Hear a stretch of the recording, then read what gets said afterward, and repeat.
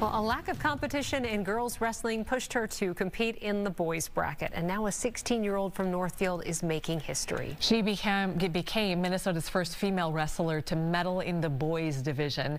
Fox 9's Rose Schmidt has her message to other young girls. Now wrestling on mat number one, 107-pound Triple A. From Mounds View, Owen LaRose. And from Northfield, Hours of hard work led Caley Graber to this moment at the Minnesota State Tournament, standing on the mat with the knowledge that no girl had ever done it. It was always something that was in the back of my mind going through the season, um, that if I won, I'd be the first girl to ever win a match at Boys State or ever place at Boys State in Minnesota. This sophomore from Northfield made history as she won not one or two, but three matches in the boys division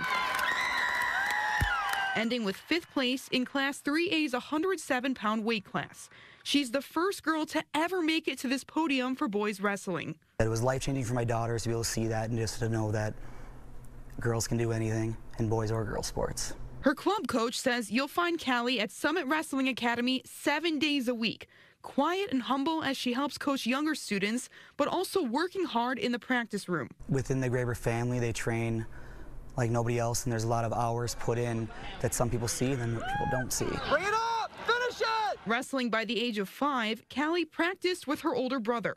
She fell in love with the sport after making friends and learning how to push herself. When I was younger, there wasn't a ton of girls wrestling, so I was wrestling all guys. Uh, last year, high school, I wrestled the girls tournament. She had to wrestle boys to get the push she needed. She says girls wrestling is growing, so she believes she'll have more fierce competition in the future. Come on, run it, run it, run it. But it's also a lesson to other young girls. Girls can compete with the boys. Um, even even as they get older, that they can still compete and that they can do just as much as the boys can. In Northfield, Rose Schmidt, Fox 9.